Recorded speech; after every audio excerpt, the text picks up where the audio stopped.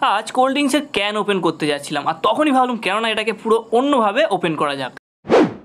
দেখুন, এখানে কিন্তু ক্যানটা পুরো সিল রয়েছে। এবার এই পেনটার সাহায্যে জাস্ট এইভাবে করতে থাকব। তো আপনারা কিছুক্ষণ ওয়েট করুন। তারপর দেখুন, এইভাবে ঘষার ফলে কি হয়। দেখুন। তো দেখলেন কীভাবে ক্যানটা সাউন্ড করে ওপেন হলো।